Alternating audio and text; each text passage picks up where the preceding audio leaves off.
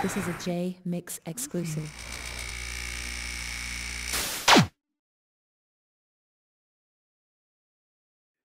He he asked me was I signed to Russell. I said yeah. He was like, well, I wanna I wanna I want you on Thug Life. He was starting his own label, Makaveli, and um so I was like, damn, wow, I was so honored.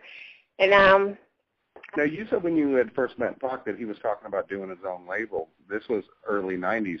Um, that was in his mind then to yeah, make his own label. yep, yep. It was the um Mac for Makaveli.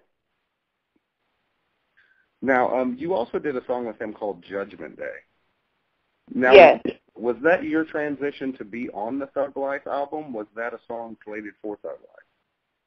Yes, it was a song for Thug Life on the Thug Life album. Actually, was I don't know if it was going to be on Thug Life album or Tupac's album. It was one or the other.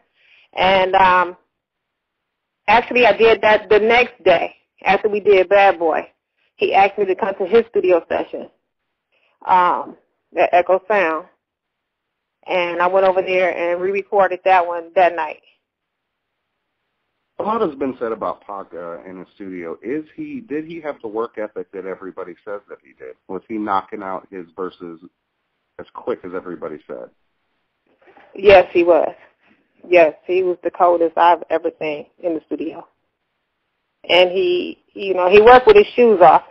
you know. He, he he physically took his shoes off. Yeah, he would take his shoes off and and and and rap and rap his, his lyrics.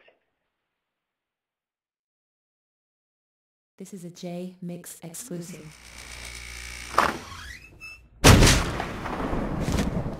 What up, shut up.